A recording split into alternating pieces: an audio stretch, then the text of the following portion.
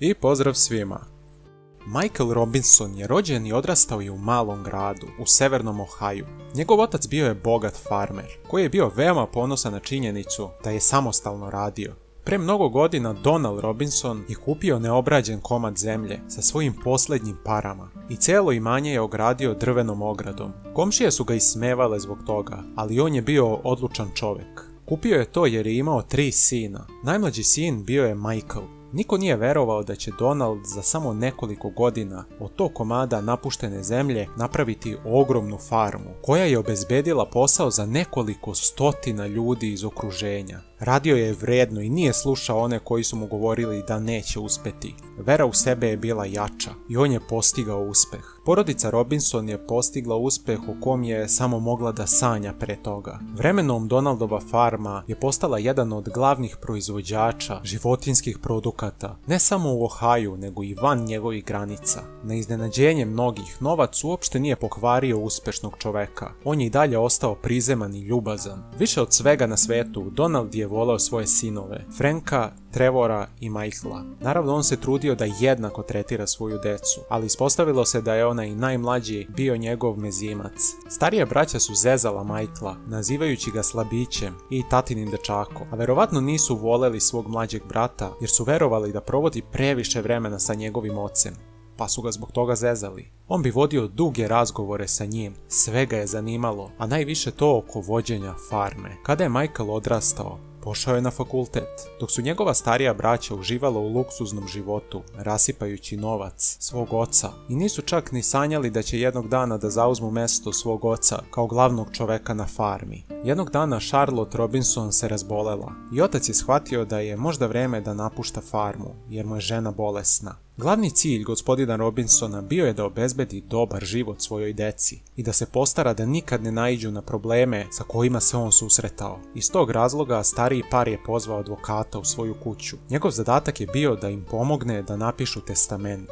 Najstariji sin, Trevor, dobio je farmu sa hiljadama grla stoke i velike komade zemlje. Srednji sin je dobio također stotine hektara već obrađenih njiva i mnogo poljoprivredne opreme. Njegovo je bilo samo da nastavi time da se bavi. Uz to dobio je i roditeljsku kuću i malu benzinsku pumpu pored ulaza u grad.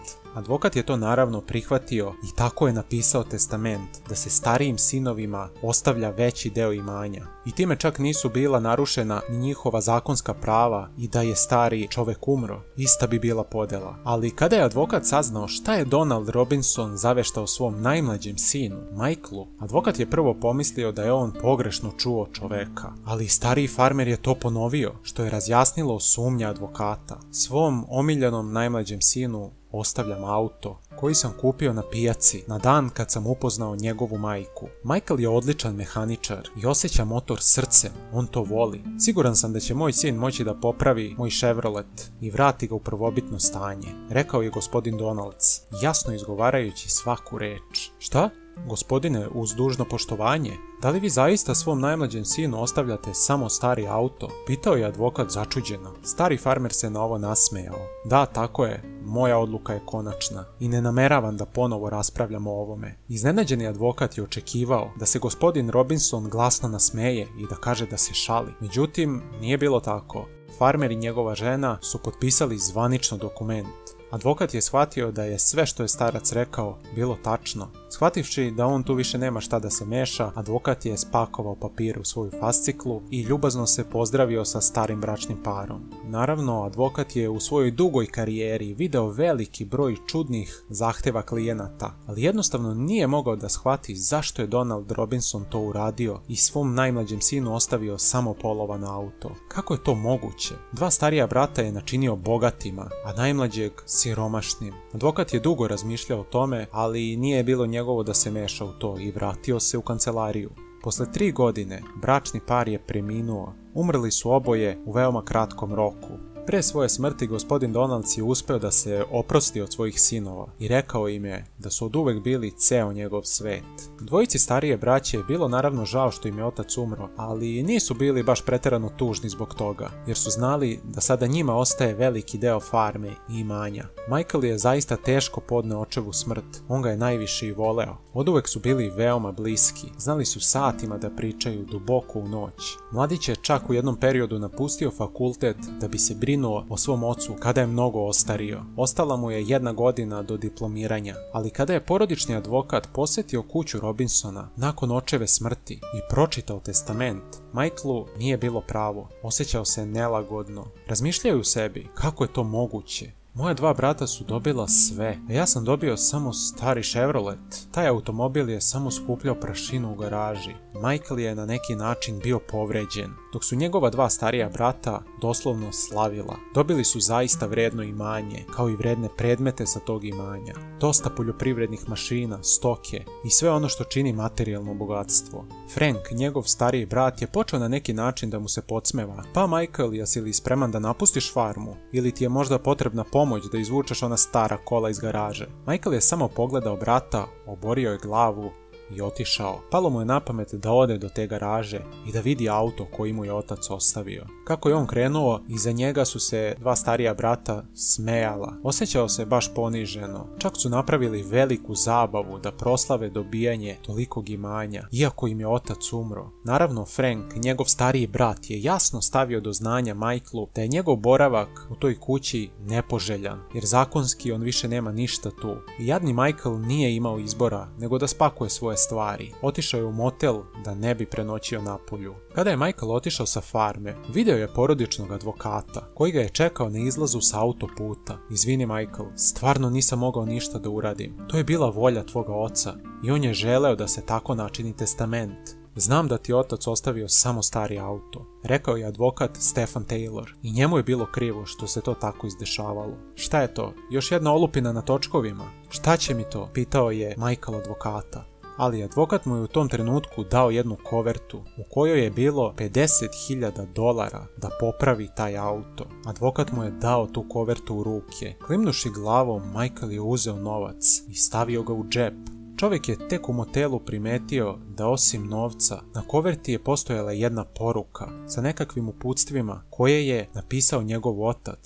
Michael je to prepoznao po rukopisu kada je ugledao poznati rukopis, Michael se osjetio dosta smirenije i počeo da čita odmah. U pismu Donald Robinson je predložio da njegov sin popravi stari Chevrolet novcem koji mu je ostavio, to jest sa onih 50.000 dolara. A zatim je dalje pisalo da Michael ode na sajam automobila u Detroit, gdje bi mogao da proda taj svoj auto. Poruci je također pisalo da ukoliko ne bude zadovoljan sa cenom koju mu tamo nude, ode u New York na veliku licitaciju automobila. Izgleda da su Trevor i Frank ipak bili u pravu. Njihov otac je izgubio dodir sa realnošću, verovatno zbog starosti. Koji bi čovjek uopšte kupio ovako star auto na sajmu automobila ili na licitaciji? Michaelu nije bilo sve jedno. Mislio je da je to bezazlen posao. Prošlo je nekoliko dana. Uprkos činjenici da je Michael bio povređen onim što je čuo i pročitao, on je ipak odlučio da ispuni očevu tu posljednju želju. Da bi se to ostvarilo, on je morao da popravi napravi prvo taj auto. Ostajao je danima u garaži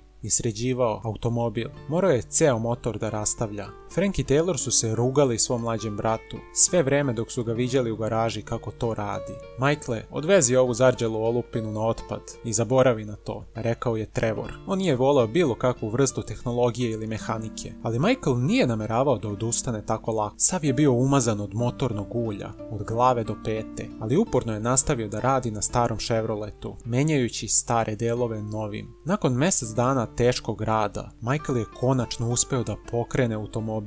Kada ga je prvi put upalio, ispustio je oblak crnog dima, ali ipak je uspeo da pokrene auto i krenuo je napred. Sedeći za volanom tako redkog automobila, Michael je osjećao neku vrstu radosti, samom činjenicom što je uspeo tako stari auto da vrati iz mrtvih, a i činjenicom da su to svi smatrali beskorisnom olupinom. Sada je mladić morao da stigne do Detroita na sajam. Nažalost, niko od potencijalnih kupaca nije mogao da ponudi više od 2000 dolara. O ne, potrošio sam skoro 10 puta više novca. Bolje da odem u New York, kako mi je otac rekao. To je prvo što je Michael pomislio. I polako je krenuo za New York na godišnju licitaciju automobila. Mladić je osjećao neku dozu straha, jer se plašio da će biti ismejan za svoj stari Chevrolet. Iako je on pristojno sređen auto, bio je dosta star, ali kada je stigao u New York, Njegov auto je na neki način privukao pažnju i to ne bilo koga nego bogatih kolekcionara. Tokom njegovog putovanja na aukciju, Michael je usput dobijao neke ponude da proda auto za otprilike